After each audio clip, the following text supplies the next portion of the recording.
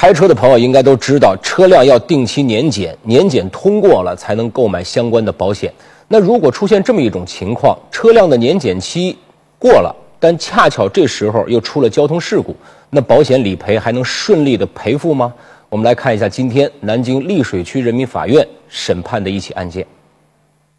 今年六月二十一号晚上，在溧水区永阳镇，吴某驾驶轿车因疏于观察，碾压到前方的二轮电动车，并造成电动车主万某身亡。由于万某是酒驾，所以交警部门认定双方承担同等责任，并由吴某赔偿万某五十一万余元。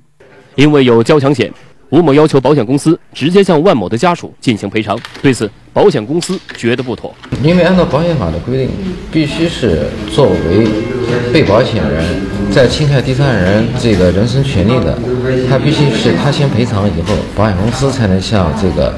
被保险人赔偿，他根本就没有赔付，他是要求我们公司直接把钱支付给第三人。保险公司还表示，虽然原告吴某发生事故时是在投保期内，但是车辆并没有通过新一年的年审，所以不在他们的理赔范围之内。原告吴某方面就此进行了反驳，他那个车呢？他可能涉及到很多外地的曝光，没有来得及去去处理。但是呢，他这个检验已经检验过了，是合格的。因为你这个在盖年审章之前，你违章没有处理的话，它是不能加盖印章的。所以他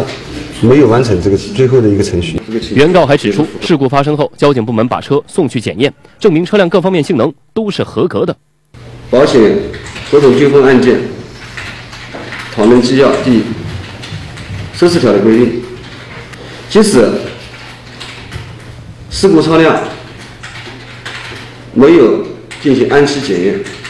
但是在事故发生后经检验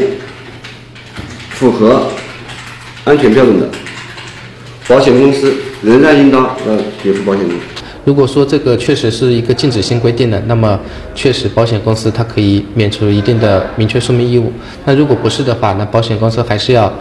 呃，尽到明确说明义务。如果说保险公司不能举证他已经尽到这此类义务的话，他还是应当承担理赔责任。法院最后认定，保险车辆未通过安全检验就不予理赔的说法不符合法律规定，并且保险公司未能举证免责的合法性，所以判处被告中国太平洋保险南京分公司赔偿第三方万某家属五十万元。